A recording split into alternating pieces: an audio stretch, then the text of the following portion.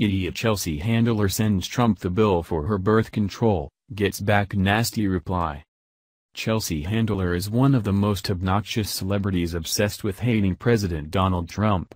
Handler loves to post what she calls her resistance to Trump's agenda on social media, and she recently decided she had a clever idea.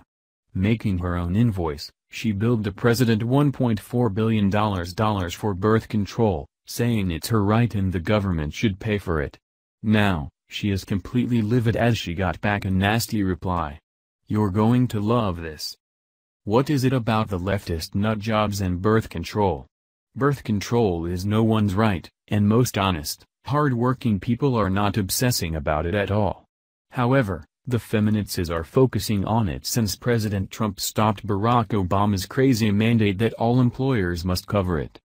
The Huffington Post, a liberal website, reported, earlier this month, the Trump administration rolled back the Obama-era mandate that required employers to cover the copay for employee birth control, thus leaving up to 62 million women without contraceptive health care coverage. Really?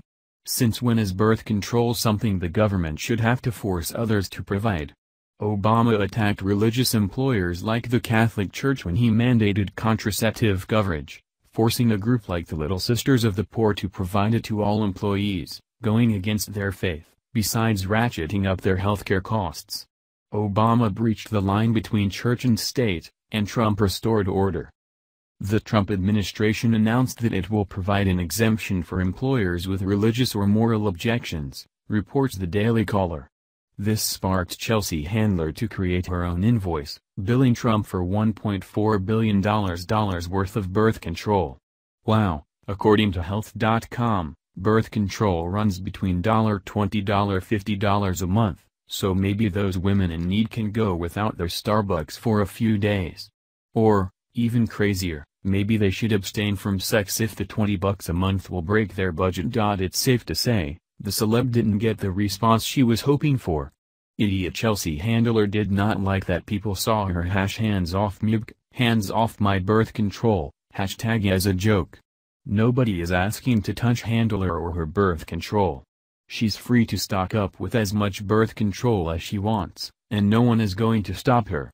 We just aren't going to pay for it. Birth control is not a right, and anyone who thinks it is should take a basic, 5th grade level class on American history and government.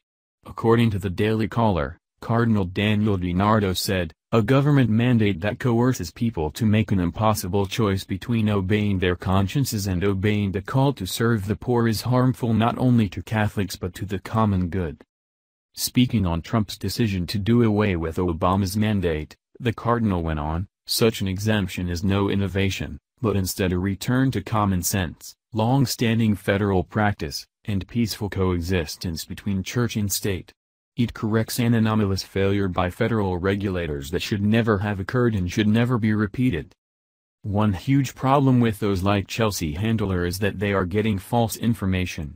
The Huffington Post said, the birth control mandate compelled for-profit employers to cover the full range of contraceptives, including the pill, the intrauterine device, and the Plan B morning after pill, at no out-of-pocket cost to women while carving out exemptions for churches and non-profit religious organizations. Uh, no. Obama threatened the Catholic Church, which employs hundreds of thousands of lay people, non-religious, with the mandate, that is why the Little Sisters of the Poor took their case to the Supreme Court where they won. The article goes on to say, the Trump administration, which is stacked with officials who oppose contraception, with a link to a New York Times article that is about those in Trump's administration who are against abortion, not contraception. See how misleading they are? Catholics consider contraception a sin, but they do not inflict their personal beliefs on anyone. All Christians should be against abortion, so the Huffington Post is lying by making these leftist nutjobs think all Christians want to take away their contraception, like outlaw it, and that's just totally crazy. So, there is the problem. Chelsea Handler and her cohorts spread lies about birth control. All conservative Americans want is not to pay for it. It is their right to buy as much birth control as they want, no one is stopping them now or ever.